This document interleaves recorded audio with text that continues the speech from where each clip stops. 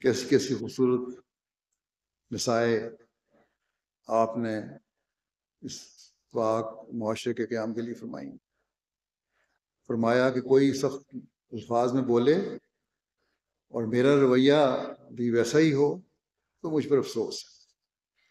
چاہیے تو یہ کہ بجائے اس کے کہ میں اسے سختی سے پیش آؤں، میں اس کے لیے دعا کروں۔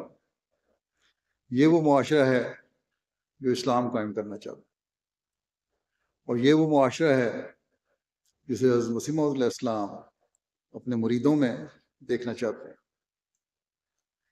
یہ کتنی خوبصورت بات آپ نے بیان فرمائی کہ جس میں بعض برائیاں ہیں تو روحانی طور پر بیمار ہے میرا فرض ہے کہ اس کا علاج کروں یا کرواؤں۔ اب یہ بات صرف دوسرے کی اصلاح کے لیے نہیں ہے، بلکہ اپنی اصلاح کے لیے بھی ہے۔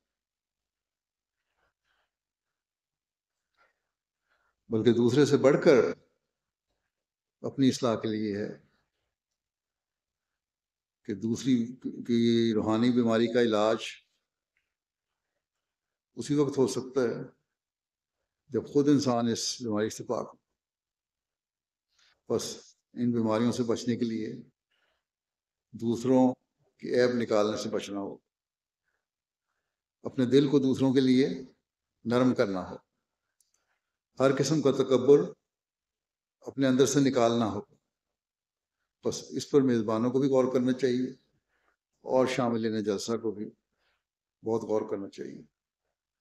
اگر ایک دوسرے کی غلطیوں کو نظر انداز کرنے اور سلامتی اور ہمدردی کی فضا پیدا کرنے کی کوشش کریں گے، تو یہ تین دن اس مقصد کو حاصل کرنے والے بن جائیں گے جس کے لیے ہم یہاں جمع ہوئے۔